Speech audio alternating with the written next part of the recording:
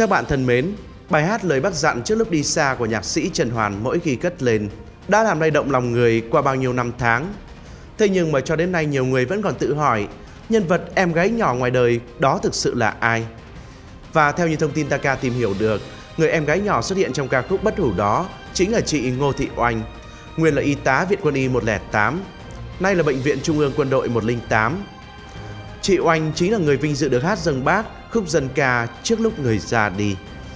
Và xoay quanh đôi làn quan họ trước lúc người ra đi là rất nhiều điều cảm động mà Taka sẽ chia sẻ đến các bạn khán giả ngay sau đây. Những giây phút cuối cùng của Chủ tịch Hồ Chí Minh và thân thế người nữ quân y. Đầu tiên thì đó chính là nhiệm vụ đặc biệt nhất trong đời em gái nhỏ. Cách đây 53 năm, vào ngày 21 tháng 8 năm 1969, y tá Ngô Thị Oanh đang làm việc tại khoa phẫu thuật Viện Quân y 108 thì đồng chí Lê Đình Lý, chính ủy viên lên giao nhiệm vụ, chuẩn bị tinh thần ngày mai đi nhận nhiệm vụ đặc biệt. Chiều hôm sau thì tổ công tác gồm bác sĩ Nguyễn Xuân Bính, bác sĩ Phúc, y tá Ngô Thị Oanh và y tá Trần Thị Quý lên đường. Vì nguyên tắc của ngành, tất cả mọi người trong tổ không ai biết đi nhận nhiệm vụ ở đâu. Xe ô tô chở dụng cụ, phương tiện kỹ thuật và tổ công tác rời viện vào lúc 3 giờ chiều. Qua một đường phố Hà Nội, xe rẽ vào cổng phủ chủ tịch tại số 1A đường Hoàng Hoa Thám. Cổng này thường gọi là cổng đỏ. Đi vào phủ chủ tịch, tổ công tác được bố trí nghỉ tạm ở phòng khách. Lần đầu tiên được vào cơ quan trung ương, chị Oanh thấy mọi thứ đều lạ lẫm. Đang sắp xếp lại một số đồ đạc thì đồng chí Vũ Kỳ, thư ký của bác Hồ đến nói với mọi người trong tổ công tác. Mấy hôm nay bác mệt, cấp trên muốn các cô các chú đến chăm sóc sức khỏe bác. Nghe đồng chí Vũ Kỳ nói về nhiệm vụ chăm sóc sức khỏe bác Hồ thì chị Oanh và mọi người run lên vì hạnh phúc, đến mức quá bất ngờ. Đêm đầu tiên tại phủ chủ tịch, mọi người không ai ngủ được vì niềm hạnh phúc sắp được ở bên chăm sóc người cha kính yêu của cả dân tộc.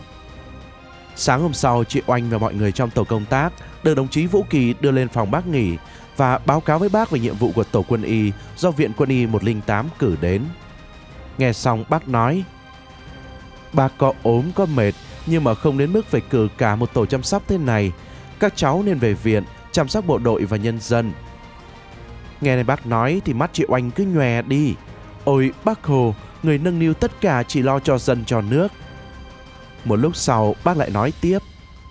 Các cháu phải chăm sóc bộ đội, đừng để các cháu ngày đêm ở đây mà vất vả vì bác. Mặc dù vậy, đồng chí Vũ Kỳ và các đồng chí lãnh đạo của Đảng và nhà nước vẫn động viên thuyết phục Bác Hồ để cho tổ công tác ở lại.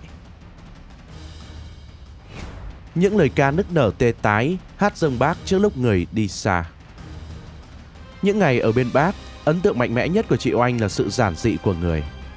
Với các chị, bác gần gũi như một người cha. Mấy ngày này các đồng chí trong trung ương thường xuyên đến thăm bác. Mặc dù là ốm mệt nhưng bác vẫn luôn tỉnh táo, vẫn theo dõi tình hình chiến sự ở miền Nam. Có hôm Đại tướng Võ Nguyên Giáp vào báo cáo bộ đội tên lửa của ta bắn rơi máy bay Mỹ. Vẻ mặt bác vui và cho gửi lãng hoa tặng đơn vị bộ đội vừa lập công. Đó là lãng hoa cuối cùng của bác mà các chiến sĩ tên lửa sư đoàn 361 được đón nhận. Mấy ngày sau đó, chị Oanh cứ tức trực bên giường bác làm công tác hộ lý, đến giờ mời bác uống thuốc. Một hôm chị cắt móng tay cho bác, cắt xong thì bác hài lòng hỏi chuyện. Khi biết là quê chị ở Yên Lạc Vĩnh Phúc, người nói vui. Yên Lạc là cái vùng có nhiều ruồi có phải không? Thấy bác tường tận cả chuyện nhỏ của quê hương mình, chị Oanh rất là cảm động. Sau khi hỏi chuyện về quê hương, gia đình, đơn vị và cuộc sống, bác mới dặn. Làm nghề y phải chăm sóc bệnh nhân như là người thân của mình. Lời bác dặn đã ăn sâu vào tâm trí và đi suốt cuộc đời, giúp chị vượt qua mọi khó khăn gian khổ để đạt được nhiều thành công trong sự nghiệp. Bác đang hỏi chuyện thì đồng chí Vũ Kỳ đi vào. Là người giúp việc bác từ những ngày đầu cách mạng nên ông hiểu được tâm nguyện của bác lúc này. Ông nói với chị Oanh. Cô có biết hát thì hát bác nghe. Tuy là chưa bao giờ hát đơn ca, chỉ thỉnh thoảng tham gia văn nghệ quần chúng ở đơn vị, nên chị Oanh có vẻ ngập ngừng. Thấy vậy, đồng chí Vũ Kỳ động viên. Cô cứ mạnh dạn lên. Chị Oanh thoáng nghĩ điều hạnh phúc được vào phục vụ bác, giờ lại được hát dâng bác, hạnh phúc càng được nhân lên. Chị mạnh dạn xin phép bác hát bài Chiến sĩ quân y làm theo lời bác. Bài hát tự biên của một đồng chí ở Viện Quân y 108. Hát xong, đồng chí Vũ Kỳ động viên. Cô có thuộc bài dân ca nào thì cứ hát tiếp đi. Lần này mạnh dạn hơn, chị Oanh hát bài dân ca quan họ Bắc Ninh. Người ơi, người ở đừng về. Hát xong nhìn nét mặt bác có vẻ hài lòng và bảo đồng chí Vũ Kỳ lấy bông hồng đang cắm trong lọ tặng chị. Được bác tặng hoa, chị Oanh sung sướng và hạnh phúc vô cùng. Cứ đứng ngây ra, ấp úng mãi mới nói được nên lời. Thưa bác, cháu xin cảm ơn bác ạ. Bông hoa bác tặng, chị Oanh cứ đằng nìu mãi. Sau này ép vào quyển sổ. Đây là kỷ niệm vô giá của cuộc đời chị. 12 ngày không thể nào quên của cô hộ lý nhỏ.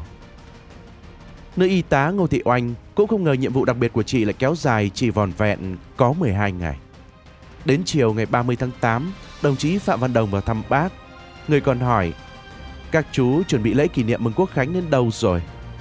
Nghe đồng chí Phạm Văn Đồng báo cáo, bác mới dặn, các chú nhớ về bắn pháo hoa mừng chiến thắng để động viên tinh thần chiến đấu của nhân dân. Nhưng mà bác đang bệnh, tâm trạng lo lắng thế này làm sao có thể cho bắn pháo hoa được. Ngày hôm sau đến giờ chị Oanh mời bác ăn cháo, tới bác ăn hết bát cháo ai cũng mừng.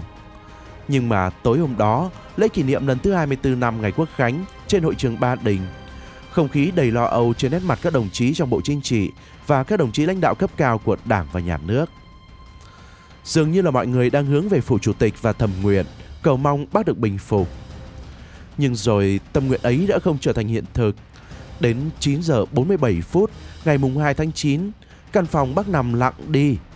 Đồng chí Vũ Kỳ dừng tay quạt, gục đầu vào bác. Mọi người đầu bật lên những tiếng nấc nghẹn ngào.